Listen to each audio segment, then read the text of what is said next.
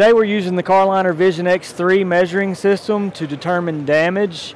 and uh, determine how far the energy transferred in an accident. Um, so for the sake of time, I've already set this vehicle up in the clamps and predetermined our center line and measured several points on the front. This is important because you're only allowed to repair vehicles based off the OEM repair procedures,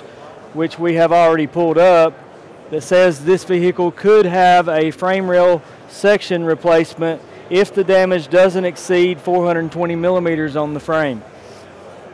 So after measuring, we have determined that this vehicle has no damage, but it would be important to note where this section would take place and make sure that the damage was only in front of this and it doesn't transfer into the rear of the frame. If it had transferred into the rear of the frame, additional repairs would have to be considered or frame replacement. If there is no damage in the rear of the frame and we was only replacing the front section, we could utilize the Evo 3